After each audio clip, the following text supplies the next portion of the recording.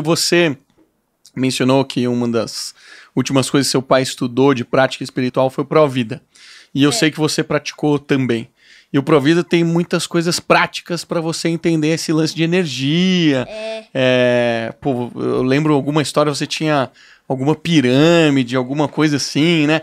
Conta um pouco, cara, o que, que você aprendeu, assim, ali no, no, no Provida, e eu imagino que isso correlaciona com muitas outras coisas que você estudou. É. Muitas coisas, muitas coisas. Gael, isso eu sei, isso o eu Gael sei. Vai é, fazer, é. O Gael vai fazer o, o curso com nove anos, ele faz o primeiro curso, que é, eu fiz com oito. No né? Provida? Na Provida. É, a Provida é um curso de treinamento. Você fez tão cedo assim? Fui iniciado pelo meu pai com oito anos. Oito anos de idade. Oito Caramba. Eu já ia com é, ele. Igual eu. É, eu, eu, vou começar com oito anos. Nossa. Yeah! E oh, meu pai, meu pai me levava em, em sessão espírita, é. mesa branca, mesa preta, cirurgia espiritual. Seis anos eu lembro, os caras passavam a mão, abriam um buraco, tirava câncer, fechava. Então isso tá dentro de mim, é da minha natureza. E eu falo que isso desenvolveu em mim uma capacidade de comunicação. Hoje eu me comunico tanto com o cara que anda de jato, como a, caras que foram meus amigos e são viciados em droga me ligam, mandam mensagem, pô, e eu converso, eu tenho comunicação, canal aberto, porque eu vivenciei a filosofia, a espiritualidade, o meio de polícia, porque meu pai também foi separado e eu passava muito tempo no trabalho dele. Até quase 17 anos eu ia com escolta pro, pro colégio, né? Porque imagina, um policial da rota. É. E, então eu vi coisas que eu falo para as pessoas, ah, os caras falam, mas você não é agressivo. Eu não, sei onde acaba. Qualquer é. discussão eu já vi onde acaba. É no caixão, é. mesmo. Caixão? Então para quê? Isso não leva a nada, aliás, dá um atraso bem grande, que eu ah. sei espiritualmente. Então, eu, isso aí eu fico longe. É, e o curso ele é um treinamento e desenvolvimento mental. Então você aprende desde hoje tudo isso que se passa aí no, nos cursos de coach, no curso de PNL, tem lá que isso já tem desde 1970 e pouco, quando o Dr. Celso começou a passar o curso. Então, falando de frequência cerebral, falando de relaxamento, uma coisa que ele percebeu, que eu achei muito interessante, estudando por fora, eu fiz essa conexão, né? É, no primeiro curso se trabalha bastante o VACOG, né, os cinco sentidos, o desenvolvimento dos cinco sentidos. E depois eu achei uma, uma explicação que através da como você capta situações do dia, dos, através dos seus cinco sentidos, isso gera emoção.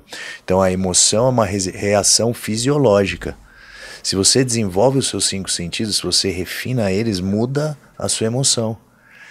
E a feita a emoção, gerada a emoção, como é que é o sentimento? Aí essa emoção você leva para o cérebro e aí você tem os seus preconceitos, sua educação, suas crenças limitantes que você agrega naquela emoção e gera o sentimento.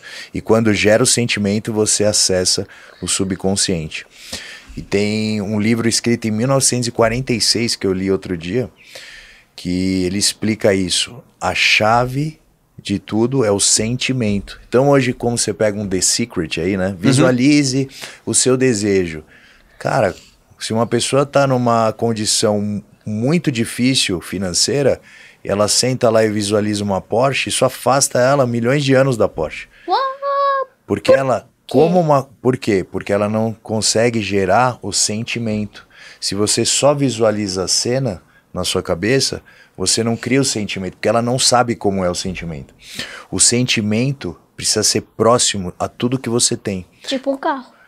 Um carro próximo ao da pessoa. Se ela tem um Fusca, uhum. ela pode visualizar um Monza. Uhum. Do Monza, ela pode. E aí é progressivo. Aí, aí, e o sentimento, um sentimento de tipo quando ela comprou aquele carro e recebeu o dia. Isso, ela já tem aquilo. Então, nesse livro, ele fala bem. E o que, que é legal desse livro? O, ele faz uma leitura das, da, da Bíblia de Paulo, sobre Paulo que quando Paulo se refere à mulher é, vai servir ao homem. E ele explica, não tem nada a ver com homem e mulher. Ele está falando do subconsciente e do consciente.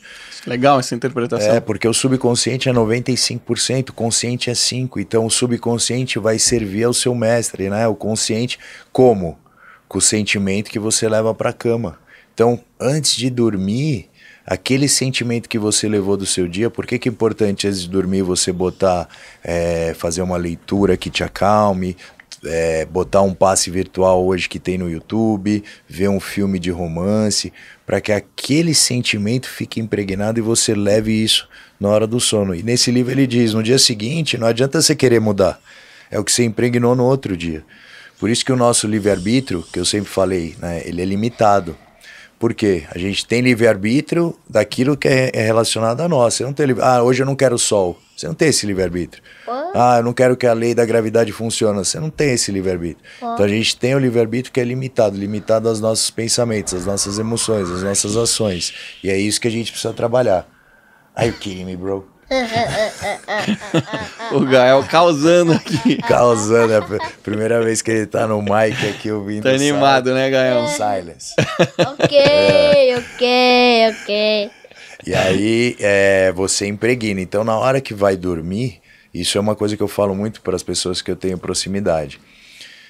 Relaxa, se conseguir meditar, medita. Se não conseguir, se eu... ah, eu tenho vício de ver televisão, tá?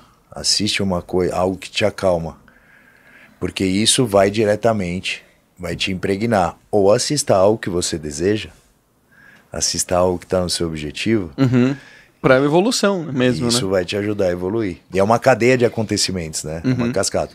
E a diferença é, quando você faz isso todos os dias, a diferença é quando a gente vê tudo em pirâmide, a gente vê todo o processo evolutivo, até a pirâmide do processo evolutivo é uma pirâmide, e aí você fala do degrau. Ah, vai um degrau, segundo degrau. Para mim é assim, ó. Tem o um degrau aqui e um aqui. Só que a nossa evolução é da ponta desse degrau, ela vai subindo até esse aqui. Uhum. Daqui ele vai Ela cruza. Esse. É cruzado. Pra quem não tá assistindo. É 0.1, 0.2, 0.3, 0.4, 0.5. Aí, quando você chega no, chega no próximo degrau, você tá forte. Uhum. Você não vai chegar lá, opa, porque às vezes pinta de você dar um passão, Sim. né? Ah. Às vezes você, que é o que eu falo, que é, a pessoa não sabe, você treinou é, crossfit, você fazia bastante snatch. Tem vezes que a gente faz o snatch, a gente até levanta a carga, mas você não sabe o que aconteceu. Você fala, nossa, encaixou.